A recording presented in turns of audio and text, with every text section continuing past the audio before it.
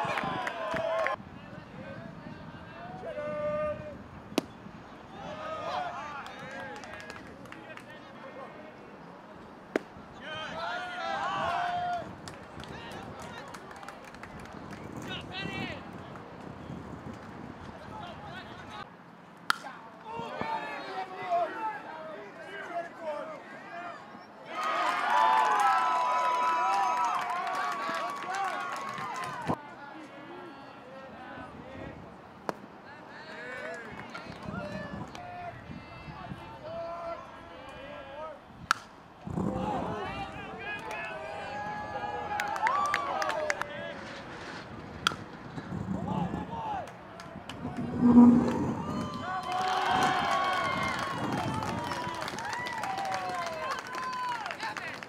was fired up for this game. I know they went out to North Carolina and beat a bunch of good teams out there, and I just wanted to prove that we were just as good as them.